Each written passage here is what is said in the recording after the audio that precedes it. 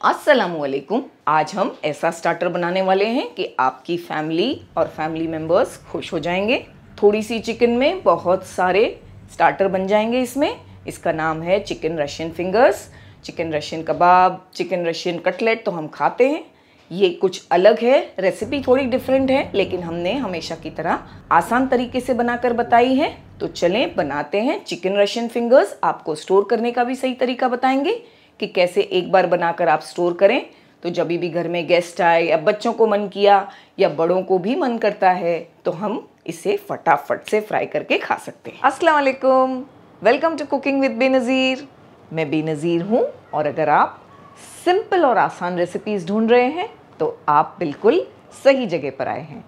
और अगर आप हमारे चैनल पर पहली बार आए हैं तो हमारी आपसे रिक्वेस्ट है कि हमारे चैनल को ज़रूर सब्सक्राइब कीजिएगा। क्योंकि आपको हमारी रेसिपीज़ इन बहुत पसंद आने वाली है।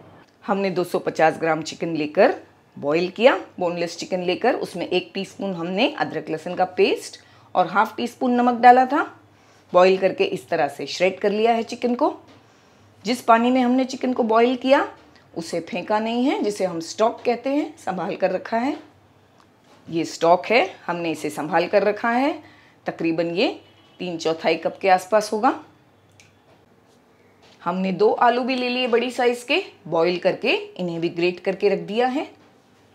हमने 50 ग्राम्स के आसपास फ्रेंच बीन ली छोटा छोटा कट किया, आधा कप गाजर और आधा कप ही भरकर गोभी ली है। बारीक बारीक हमने श्रेड किया है, गाजर को ग्रेटर से ग्रेट किया है। इसे हमने छोटा छोटा श्रेड किया है। एक कढ़ाई हमने गर्म करने के लिए रखा। इसमें हम घी डाल देंगे, तीन टेबल स्पून ये जगह पर आप बटर या ऑयल इस्तेमाल कर सकते हैं। घी गर्म हो जाने के बाद हम इसमें ज़ीरा मिला देंगे एक टीस्पून। ज़ीरे का कलर चेंज हो जाएगा। तो सारी सब्ज़ियाँ जो हमने आपको बताई, वो सब डाल देंगे। सब्जियों को हमें अच्छी तरह फ्राई करना है। तीन से चार मिनट तक फ्लेम हाई करके। सब्जियों को तीन से चार मिनट पकाने के बाद एक टीस्पून भरकर अदरक लहसुन का पेस्ट मिलाएँगे। साथ में एक टीस्पून से थोड़ी कम चिली पेस्ट। चार से पाँच हरी मिर्चियों को लेकर हमने पेस्ट बना लिया। आप यहाँ जैसा तीखा खाते हैं, वो हिसाब से मिर्चियाँ डालें। मीडियम फ्लेम पर अदरक, लहसन और हरी मिर्च को भी भून लेंगे हम। दो से तीन मिनट लग जाएँगे हमें। अदरक, लहसन और हरी मिर्च भुना गए हैं। आधा कप भरकर मैदा मिलाएँगे। 60 से 70 ग्राम्स होगा वज़न से देखें तो। ये पॉइंट पर फ्लेम को हमने बिल्कुल लो कर दिया है। लो फ्लेम पर चलाते हुए हमें कम से कम छः से सात मिनट मैदे को भूनना है। फ्लेम को ज़्यादा हाई ना करें, वरना मैदा जल सकता है। लो फ्लेम पर पेशेंस के साथ इसे भूनना है। मैदे को हमने बहुत अच्छी तरह भून लिया है। फ्लेम को लो ही रखा था। जो चिकन स्टॉक हमने आपको बताया, तीन चौथाई कप के आसपास है, वो डाल देंगे। साथ में दूध भी डालेंगे, आधा कप फ्लेम को लो ही रखेंगे और इस तरह से इसे चलाते रहेंगे। हम इसमें चिकन डाल देंगे, जो हमने बॉईल करके श्रेड करके रखी हैं। साथ में आलू भी मिला देंगे बॉईल किए हुए। कुछ मसाले मिलाएँगे।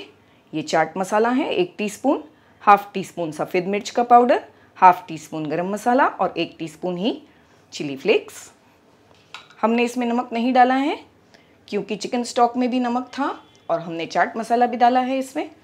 तो बाद में हम टेस्ट करके ऐड करेंगे। फ्लेम को लो रख के सारी चीज़ों को अच्छी तरह से मिक्स करना है। दोस्तों, हमारे काफ़ी सब्सक्राइबर्स की फरमाइश थी कि हम आपके लिए रिटर्न रेसिपीज़ लेकर आएँ।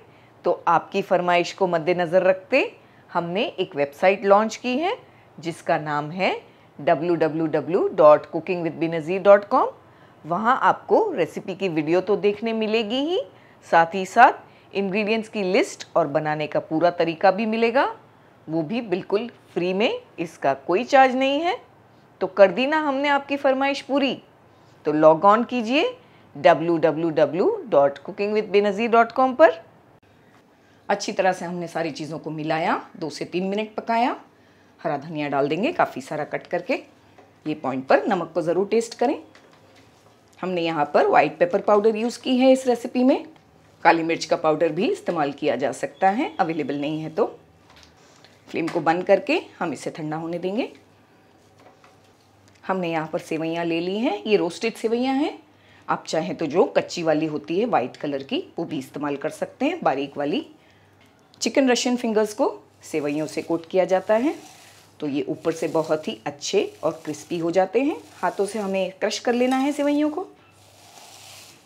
हमारा मिक्सचर भी ठंडा हो गया है बोल में हमने निकाल लिया था। थोड़ा हाथों को हमने ग्रीस कर लिया था पहले ऑयल लगाकर। उससे आसानी हो जाती है और हाथों पर हमारा मिक्सचर जो है चिपकता नहीं है। हम रशियन फिंगर्स बना रहे हैं तो बस इन्हें फिंगर्स की तरह ही बनाना है।